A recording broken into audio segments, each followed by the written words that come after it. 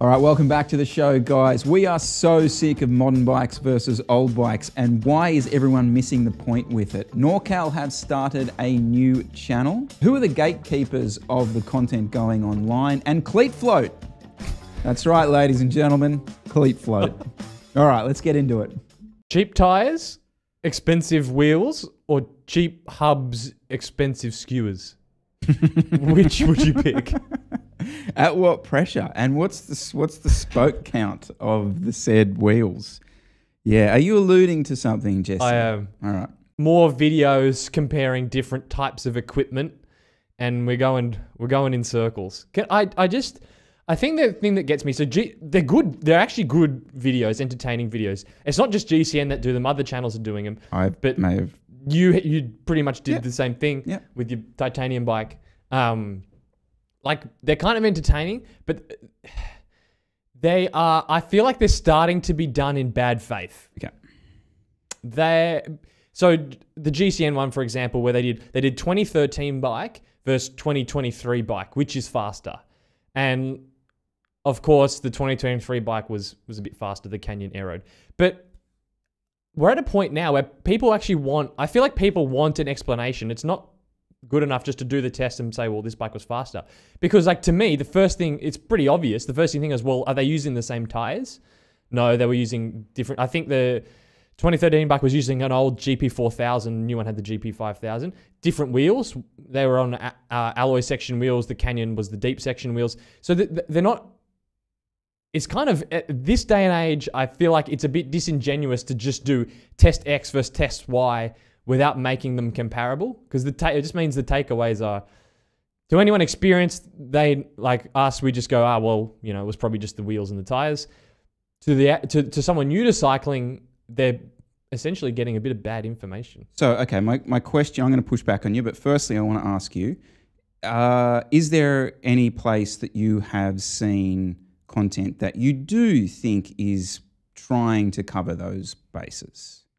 Is there an example? well there's i mean yeah so there's well there's bicycle rolling resistance that, that gives does, does objective testing of tire data. And the only i think the only person on youtube that actually tests stuff with the simple goal of finding what's fastest peak torque. So he does similar similar tests but he's actually giving you t- you actually end a peak torque video with hmm. some knowledge that you didn't have before. Any of the other ones it- I mean, your your one was different though because you weren't sort of testing which is faster. It was just, I mean, you're pretty upfront that it wasn't a scientific test. Well, let's okay, okay. Here, and this is why I want to push back on you, because for for my personal experience doing it, I did it uh, really for my own interest, and I was surprised at the differences. But I also did it, and I'll be upfront about this. Ninety five percent of the reason I did it is I thought it was entertaining, mm-hmm. and I'm sorry, Jesse, but the, the reality, I think, even of those GCN videos, of all these tests, is it's a it's a topic that seems to get hits, it gets views, and people people love it. Do do I honestly think? Do I on and this this was almost backed up, right? This was back. So GCN followed this up with a poll that they did on the tech show, right? And the the question was what bike do you think is faster, a 2014 Pro Peloton bike or a 2023 Pro Peloton bike? Okay. And what's super interesting, well, 80%, 90%, whatever it was, voted for the 2023. Hmm. So clearly, everyone knows that the modern bikes are faster. But then if you look under the comment section of that 20, the comparison video that you're talking about, like 90% of those comments are all people saying, oh, that S Work, the tarmac was such a better bike, blah, blah, blah, blah, blah. So it's like this complete disconnect between and I honestly think it's the same people. It's the mm-hmm. same people. I, I, re- I almost think I'm one of them who who has this sort of longing for what has been, but we're not under the illusion that actually what is faster, what is being produced now is faster. What is a bike? this is where we're at. So they say 2013 thing versus 2023. Okay, which bike is faster? But does that mean what? You know, like wh- when they say bike, I think when people when you say bike, people I mean, at least I subconsciously am pretty much thinking frame. Mhm. But really, to compare apples and apples, you have to take into the account the wheels and the tires. And I think that's where the disconnect is because you could be riding this year, you could be riding a 2015 frame, but you could put, I know we've gone down this before, you could put a new set of integrated aero handlebars on it. You could run a GP5000s and a set of 60 mil wheels. And that's where I think you would probably still technically consider say that's a 2013 bike. But he, here's, he- uh, uh, does anyone care? Like, do people really care about Peak Torque's results? I mean, Oh yeah, Yeah? Wow. In the you know in the grand scheme of things, I think. No, see, my my my takeaway at the moment is that we don't actually care. We we kind of we want to get riled up about it. We think that there's this this hidden performance disadvantage that we're all suffering from. But what we're actually suffering from is the fact that the bikes got four times more expensive, and the bikes didn't get four times faster. And we're in this. I don't know. Again, I don't want to go too far back down this, but like we're right where we sit right now, like right in the, the bike industry as it stands, that the trickle down effect hasn't happened. So we're sitting there with four times the expensive bikes as they were, and we're not getting that performance advantage yet to to the trickle down bike. Hmm. And that's I think ultimately what's pissing us off so much. Like I have an analogy. I have this analogy written down here, right? And I don't know if this is this the summary um, in that GCN video. Simon did a summary at the end of it, which I thought was probably one of the best and most even summaries I've heard on a GCN video. He was he was quite honest about it, and he used one about a knife, right? Which was something like you know you can make a meal, you can make a really nice meal anyway, and it'll end up tasting the same. But if you used a blunt old knife to cut the tomatoes up, no, no, no, no, no, no. The new bike isn't faster. It just had faster wheels and better tires. So no, no, no, no, no, no, no, no. You don't. You, You don't, don't get, get credit that, yeah. for like this nice. Oh, but actually, it doesn't matter. Just enjoy your bike you ride, even if it's a bit slower. It's not slower. It just has slower wheels and tires. yep, yep, So you don't get credit for a takeaway that sort of settles, keeps the peace, but it doesn't need that because the bike isn't, from what I can tell and from the, bike- actual data, the bike probably isn't that the bike, meaning the frame, probably isn't any slower. Well, the, yeah, I mean, the analogy that I'd written down, which a modern day 2023 America's Cup boat. So they're the sailing yachts, right? These things are just spaceships. They've got foils on them, they're trimarans. They look like they come out of the Jetsons. That's probably a reference, and half the people watching this won't get. They are from the future. Compare that to a America's Cup boat that won in 1981 or 1982. What's super weird is that the bike that the the boat that won back in the 80s looks more like the boats that everyone sails now, right? Monohull, you know, big sort of mast, all the rest of That's still the boat that everyone sails. Yet the the top end, the high performance guys use these incredible spaceship machines. And so there's this kind of the disconnect in sailing which doesn't which no one seems to care about which is like the pros essentially use this spaceship machine to to win their races whereas like the everyday person even like the performance everyday person will just use a normal boat that was kind of used 30 years ago hmm. Where in cycling you know, we see this sort of one little bit of tech that goes on a pro's bike now, and we're like, I've got to have that on my bike. Like, but you're not a pro. Like, what are you talking about? So I just, I don't know. I find that is a weird place that this sport is as I well. still feel that exists in time trials though. I look at the pro time trial bikes and I go, that's that's light years ahead of what I had when I had a TT bike at Focus. Um, that's that's uh, that still exists. May, probably more because of the cost of you know a, a professional's time trial bike is probably you know, some most a lot of the parts you can't even really get. Like the custom molded extensions are quite niche, harder to get, and super expensive. You know, but that was kind of what I was. You know, that's where you're getting like more like thirty plus grand, as opposed to the, you know, you can buy an SL7 for twenty. I I kind of was referencing that when we were talking about the prologue at the Tour Down Under. Like, that's what it missed not having the t- putting the logistics and all that. But that's what I from from me as a spectator missed is that kind of log on and see the wild new spaceship tech that's on the on the time trial bikes. I missed Mm. that not having the just having the road bike triathlon. So my road bike tri. Yeah, yeah. So I don't think Simon does that many uh, GC, uh, hosts that many GCN videos anymore. But it was like really entertaining to watch. It was like you know he brought that the WD forty to clean the bike. I remember that like shut down cycling on the internet when they're like clean your lube your chain with WD forty, and everyone's like what? That's still that five minute bike clean video. If you have a look at their most watched videos, is like in the top ten videos they've ever done. Wow. I just actually thought this might be an interesting way to, to kind of finish this chat. Like if you look at the content that they were making five, 10, 10 years ago, right? Or in that vicinity, like there was no this this narrative, this like old bike versus new bike stuff wasn't really on the channel. They weren't putting it. So there clearly wasn't like a a, a market essentially for that content yet Hmm. because I suppose this big change maybe hadn't happened. Like all the content then was far more like training based and like what to eat on a ride and all that kind of stuff. There was none of that real Hmm. comparison of, of equipment thing as much Hmm. as as is now. Anyway, guys, let us know what you think is the is the old bike versus new bike content dead? What is a bike? These are the questions we're, we're here to answer, all right? I don't know if you've seen NorCal Cycling has a second channel now, and it's doing something I always wanted to do, which is like just training related content. So they're doing. He's got.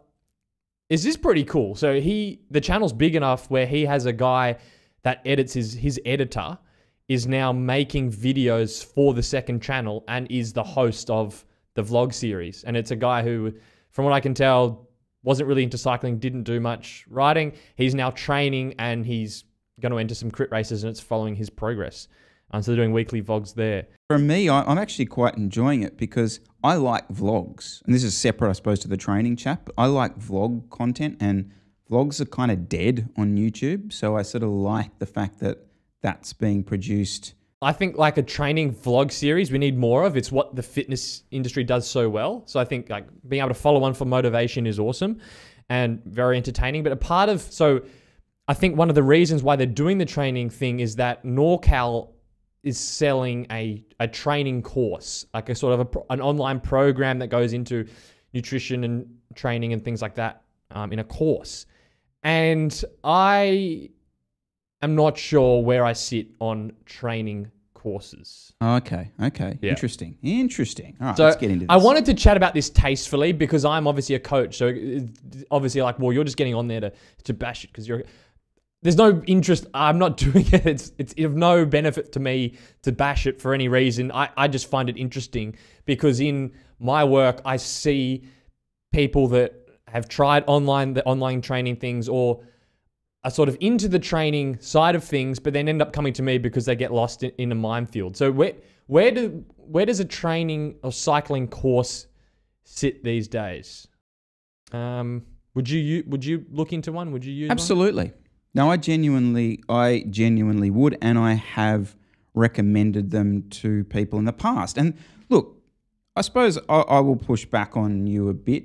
How do I how do I say this? Like you're a good coach, blah blah blah, all that kind of stuff. But your service isn't for for everyone. And I, I know if you I know if you were these people, right? And, I, and perfect example is I got a message from a friend of mine the other day, and he's like, "Oh, um, I'm gonna do um, the snowy event here in uh, so it's like a Fondo event, 120, 130k range. They're gonna do that. Any any training tips for me? Like, and it's like this broad thing, and he's even more broad, right? And his question then is, should I just go and do like a couple an hour or two by myself and just ride real hard, or should I just go out with group rides the whole time? I did. I just replied and said, mate, sign up to TrainerRoad or something. Like, do a do a structured course. Go nuts, bro.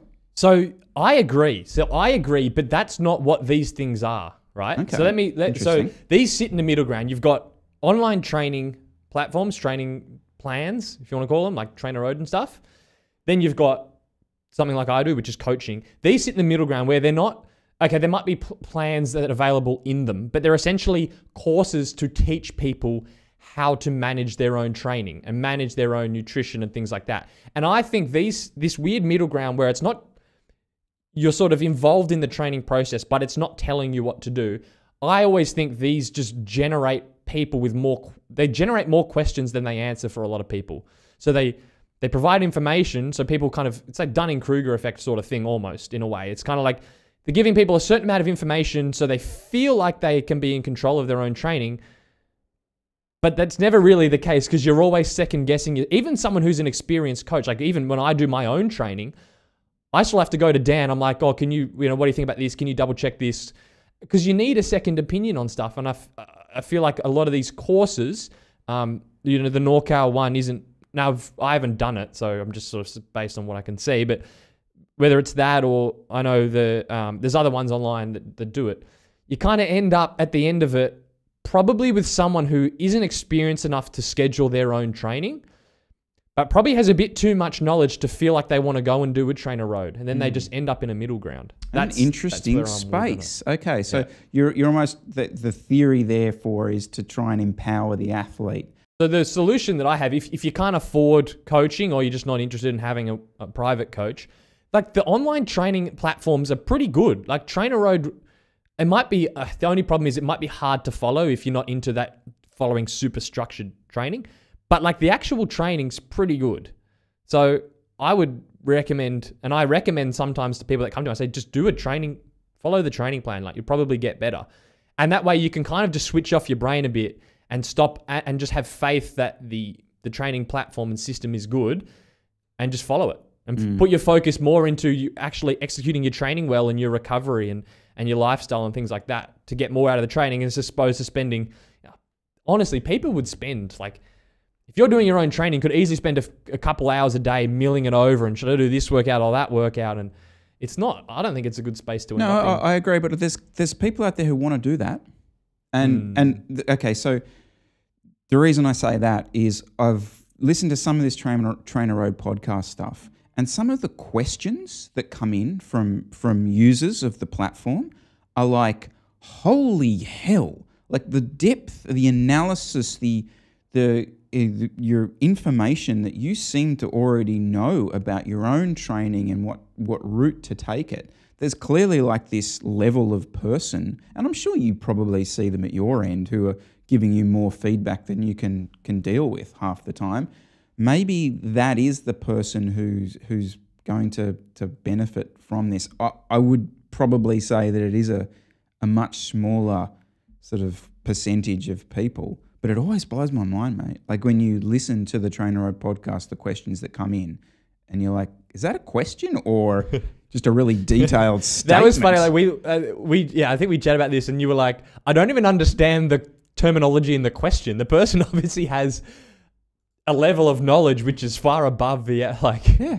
almost at a level of someone who's done a sports science degree, but you know, that's that person still has a thousand questions, and it's it's an interesting, yeah, it's an interesting space. But yeah, clearly, like you know, taking it back to the channel. So yeah, it's good. I think they've clearly got a product to sell which is appealing to people, which is good because we get free, good, motivating training content out of that second channel. And So let us know, guys, your thoughts. This sort of second tier, mid tier type of coaching course. Where does it sit with with you and the NorCal Cycling Channel? The second part of it, are you enjoying it? What do you think? Once again, Jesse, I think we are going to prove ourselves as not the place to go for your daily recap of World Tour cycling, though we do pay some attention to it. But we're going to take a different angle at this. Well, at least I want to today. So the, the season's kind of starting out, and I'm already kind of bored. I'm kind of bored of a few talking points, and maybe this just comes back to like the way the media deals with like pro cycling or whatever. But I just find so there's talking points, there's narratives that I'm already like, I know this is going to play out all year, and I'm bored of it. The first one is the whole Julian Alaphilippe, Willie won't he resign at Quickstep? It's not that I don't care, it's just that the way this is going to be drummed up as interesting It's we're going to be looking into you know what's his name? What's the friggin' Lefevere. Lefevere's every tweet or does he tweet or you know every interview that he does or article that he writes. Oh, this is a dig at him. That's a dig at him. No, that's actually him uh, trying to um, inspire his superstar to do better. And and then there's going to be the whole thing. I guarantee it's probably already out there. There's going to be this whole thing of like. Oh, but he wants to be on a French team, and then the French are going to be want him, and then there's going to be like an article in L'Equipe, and it's going to be, oh, I want to be French. I, yeah, it's going to play out.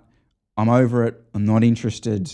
The second one, the second one, I'm I'm already I'm already bored of. We're going to have this whole. Okay, okay, here we are. We're going. I'm getting into All it. right. All right.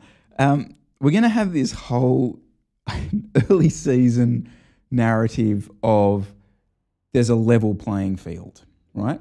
You're going to see this play out.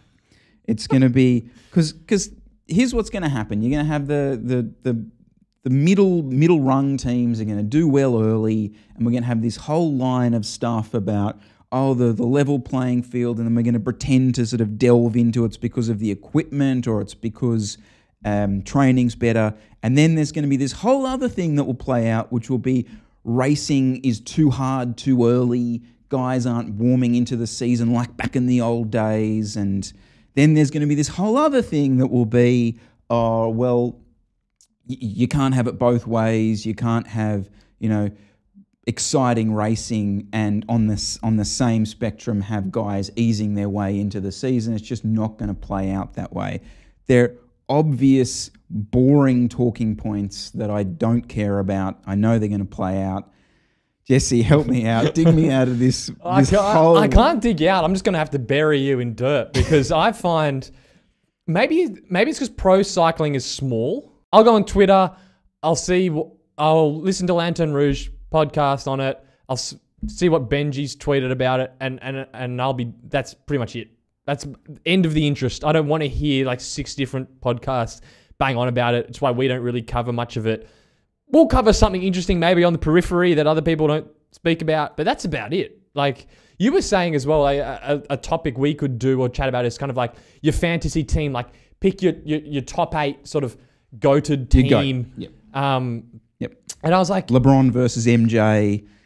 and you were like, oh, because like other sports it's in basketball, it's like super entertaining on the on their types of shows. I'm like, I don't think it works for cycling, or at least I wouldn't find it entertaining. It wouldn't be a segment of a podcast I'd want to listen to. And why is that? Is it because is it because we the I mean, I thought about this and I'm like, is it because the races are so like ha, what what are we picking? Are we picking a Grand Tour team? Then do you, are you just picking a team that's like all around the one guy anyway? Or is that the problem? Or is it that we're not actually that invested? And this is what I think. I think we're not actually that invested, sorry, in the riders. Like I mean, Hmm. I I I am invested in like one rider in the pro peloton because I have an actual like relation personal relationship with them. Everyone else, I'm just like, cool, yeah. Oh, that's cool. He won. Yeah. Mm-hmm. Oh, that's cool. He won. It's not like I don't know. I just don't feel like I I root for someone. I root for a team. Like maybe is that it? Although I kind of root for someone, like watching Arnaud De Lie coming, rising through the ranks, like destroying people in sprints, I find very entertaining, but I wouldn't want to hear someone talk about him, ab- picking him for a fantasy team. I, I yeah. the way maybe that we consume pro cycling, and this is what I find interesting, right? So maybe that needs to change, and maybe actually the way you're consuming pro cycling is the future. Like, so um, the NBA, right? So the NBA, what a lot of NBA is now being consumed on is is like TikTok, Instagram Reels, Twitter. Like people people are just sharing that moment, right? That dunk. You don't watch the game. It's like that moment of the game that goes viral is sort of the bit that you bit that you watch. So just like you logging in to seeing, you know, what happened last night for us in the in the race is that little snippet, that little bit, that little interesting. Maybe that's that's the future of the sport. Mm, I can see that. Yeah, if you've watched an, the last hour and a half of a race, you don't really then want to go listen to an hour podcast about it, unless it's the Tour de France. Um, maybe is so that's definitely a thing. Maybe our uh, the people talking about it just aren't very entertaining. I pretty much only watch Lantern Rouge and, and, and Lance on the move when the when he when the tour is on. The other stuff is crap. Are we going to go for this? Go on. Are we going to go for this, Jesse? Yeah, All right. let's go. This is what? How many episodes have we done? anyway, this is our last episode. We'd just like to congratulate everyone. Okay, I don't disagree with you. So and and oh, Chris, be careful. All right. One of my issues is that there hasn't been a new generation come into the content that's been made and, and in the mainstream. You know, the guys. Um, will I? Go on. I'll Yeah, back you up. Okay. I'll back you No, up. I don't want you Come to on. I want Put you to your armor on. I want you to disagree with me. Um, the, the people, the people who are in the mainstream media, majority wise, are the people who came up 20, 30 years ago, essentially like on the coattails of the growth of the sport around Lance. Like, especially in English speaking media. Okay, so most of it came up through that, that period when the sport exploded. And, and here in Australia, you saw a presenter on SBS, Mike Tomalaris, who, who was there at the beginning, and that was almost what made him the, the, the person on cycling because he was there at the beginning. Mm. Okay? Mhm. Okay, okay. Tomo's not a great example because he's sort of moved moved on since, but that generation is still there, and I kind of feel like they that hasn't not that they're not doing a good job. It's just that there hasn't been a new influx yet of come through and, and take over that that place. So maybe that the and Lantern Rouge and that that growth I think has been a, a great test case for how new people come into the sport because you're looking at two guys, and this is what I love about these guys. Two guys who weren't pros. I love it. They're just friggin' fans. Mhm. And for me, that is like what we need. Because as well, like we saw um, with some of the layoffs in the, the the cycling tips layoffs and some of the journalists losing their jobs, and like one of the podcasts that start, came up from that, this placeholders podcast, which I listened to an episode of, and they covered a lot of. They, they covered quite a lot of um, pro cycling topics, and I found it quite boring, to be honest. It's, it's not something I would listen to. Pretty much the only reason I listened to it was firstly I recognized the names that were hosting the podcast from from the from cycling tips like Caley Fretz and stuff, and then the voices Cosmo Catalano from how the race was won, and it's like that was what an awesome thing that was when it was out, Oh man. and now he doesn't, from what I can tell, doesn't do it anymore. Maybe that's why we're you know we're pre- not interested in hearing you know in just spending hours and hours on pro cycling stuff because we just get bored of it so quick because there's not that much content. I don't want to bring this back always to like other sports and other bits of content, but I, I do. I listen to and watch a lot of other sports stuff.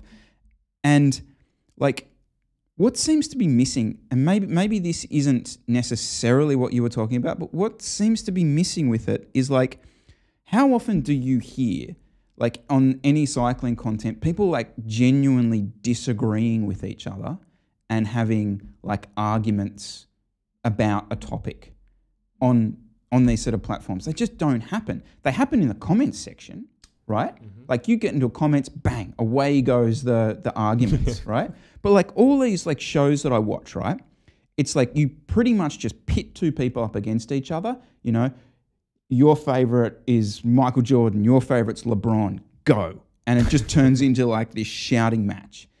Like I haven't listened to this podcast that you were talking about, but like I guarantee you that there's not that much sort of no, I totally disagree with you. And that that's to me what is completely missing from this sort of space. That, but probably that's just the maturity of the, yeah, the maturity of the whole thing. And maybe in, in 20 years it'll get there. Is it the people that are there? Because I come back to this thing of like the people that were there 20 years ago that are essentially like the gatekeepers to this this medium now. Like, okay, guys like Lantern Rouge have managed to get past it, but you know they they were they we you couldn't get YouTube stuff on the mainstream media. Anyway, we've talked about that in the mm. past, mm. but I felt that there's been like these gatekeepers that have stopped you getting past it, and maybe that's going to change.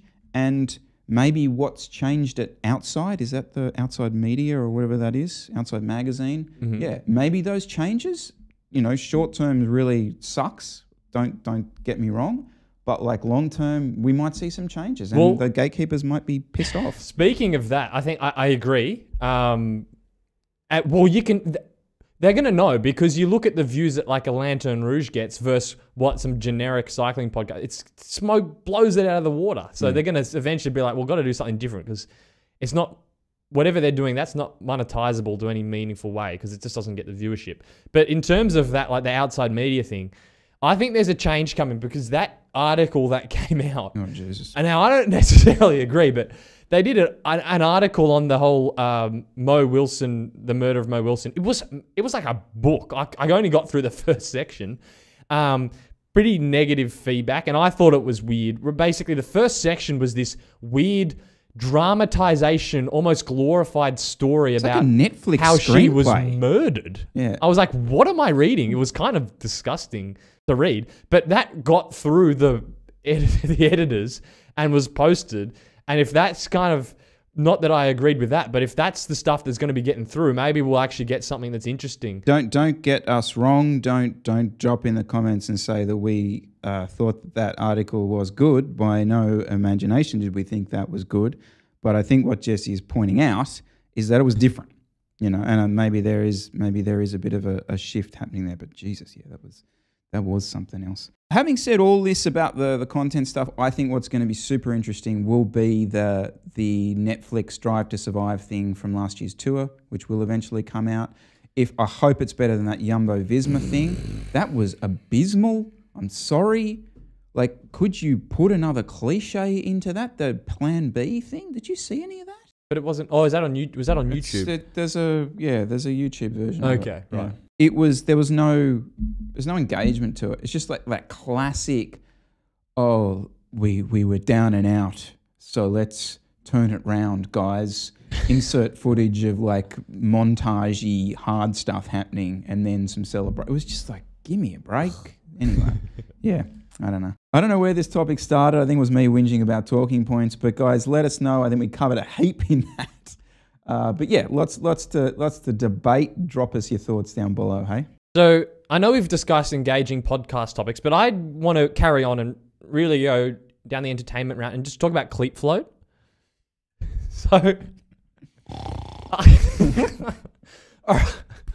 This is just, just a quick insight. This is normally the bantery bit that shit podcasts do at the beginning of the show. You've got to normally put up with five minutes of this shit banter, and then you get to the topic.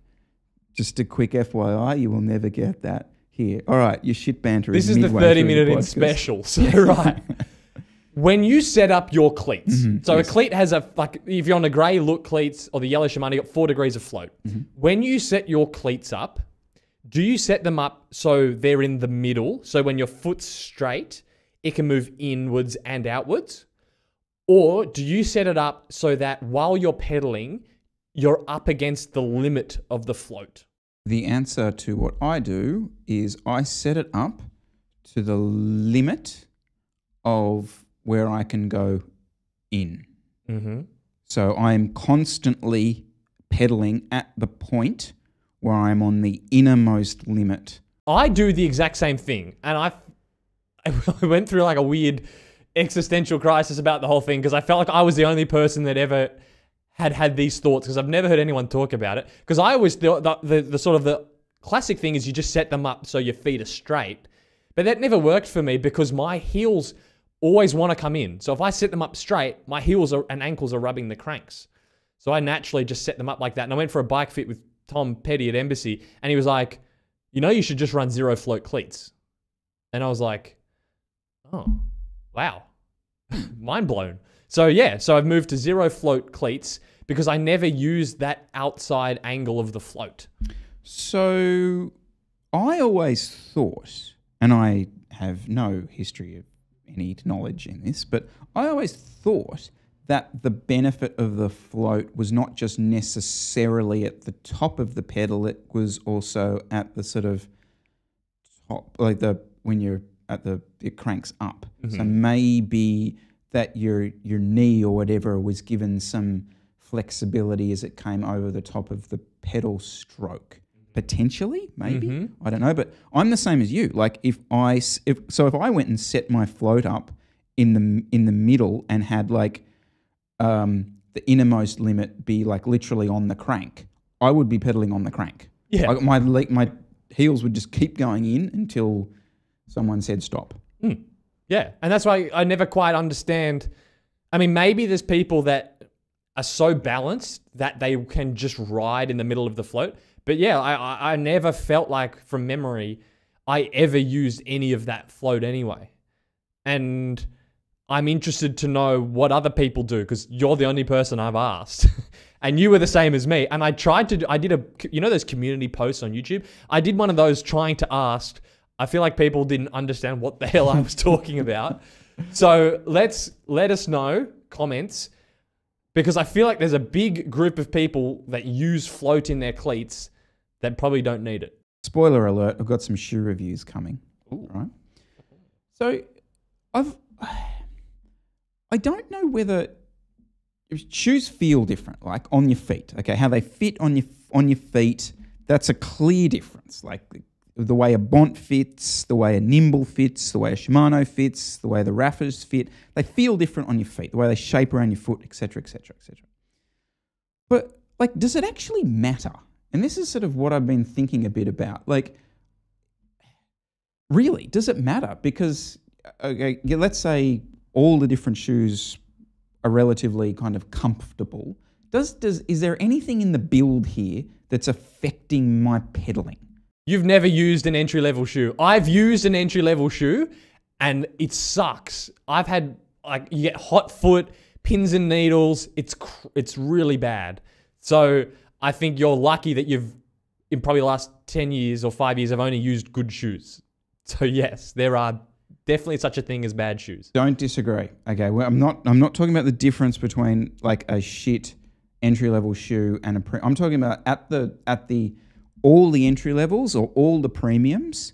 Is there actually a difference with them? Because like I have sat in a I've sat in a bike shop and listened to people come in and out and saying I hate shoe X.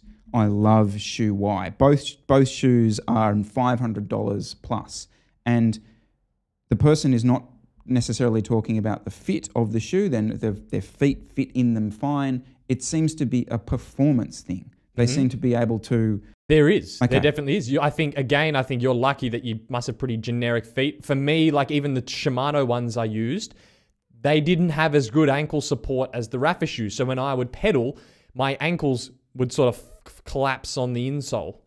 And I is that making a performance difference? I don't know. I didn't like that feeling. It's why I like the Rapha shoes and the Bonts because the insole's stiffer and it's better to push against. So for me, yes, even two top of the line shoes can be night and day. Interesting. And then I wonder if it's different. Like, is that support that you feel across? Okay, you you mentioned the Bof- Bont and the Rapha shoes are better for you.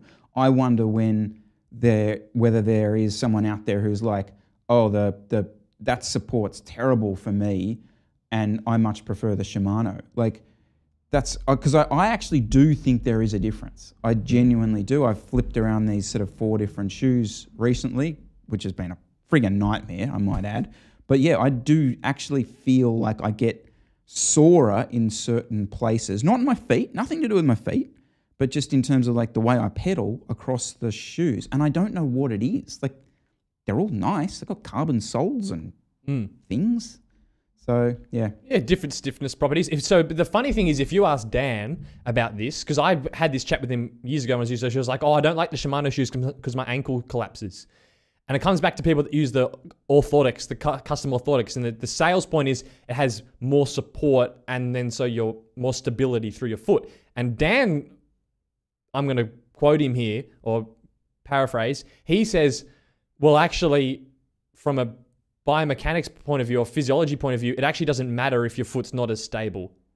He he he reckons if your ankle collapses it in, it's not really going to make a difference to your power output, your performance. It's more of just a personal preference kind of thing, which I didn't agree with. I I didn't like that feeling at all. But in terms of speed and power output, it might not. I don't actually I don't know the answer, but it may not, according to him, may not make much of a difference. Yeah, I mean, obviously, I'm trying to do these shoe reviews, and like I talk about the fit, I talk about like the weight, I talk about keeping them clean, I'm talking about all this stuff. But then there's this other thing. It's like trying to measure acceleration or something on a bike. I'm like, there is another difference here, but I have no idea how to articulate this Mm. because it's maybe it's different for me, it's different for the other person, but like I do feel different pedaling with different shoes. And then there's the laces thing across all some of the laces stuff with the bo- the bow, and I'm like, mm. I look at T- Tadej Pogacar and I'm like, how are you doing this? Like at a pure perform, like the top end pure performance level. How is he racing with laces? It make it makes no sense to me Like- to be on a laced shoe going into the sprint at the end of a classic race and not being able to tighten your boas. That's a that's a that's surely that's a performance difference having your foot sort of bounce around a little bit in the spring. but maybe it isn't, and that's that's this is this is where Maybe it is, isn't. Maybe Dan's right. Yeah. this is where it kind of all started for me because I'm like, maybe it's totally in my head. Like this, this, because obviously, like it's like this curve, right? It's like the more comfortable the shoe gets, the the you sort of feel like the less performance orientated it's going to be. Like you step into a Bont shoe, and it's like, oh, okay, right. So this is this is a race shoe. Like it's going to rip my friggin' upper of my feet off, but you know I'm not losing any power here. And then you step into like the DMT, KMT, I think it's called, or whatever it is, KMR maybe, the one that he uses. And it's like, oh, this is a pillow, but surely it's not going to be faster. I don't know. I just, Oh, jeez. I'm glad not to be down that rabbit Oh, hole. Oh, I'm down you. Yeah. yeah, I'm down there. so give me a metric, people. Give me a metric to to include in a shoe review that in some way it's like a, I don't know, the Miller. Mm. The Miller factor. Miller factor. All right. Where do you set up your float? And uh, oh my gosh. yeah, I'll just leave that. Uh, mid pod bants, mid pod bants. So that's another one in the books, guys. Make sure to check out some of our older videos. I'll put those links down below. If you're on YouTube, make sure to like and subscribe to the channel. And if you are listening to us on a podcast player, hit a five star review and we'll do a review. That'd be super nice. Alrighty, guys, we'll see you next week. Thank you.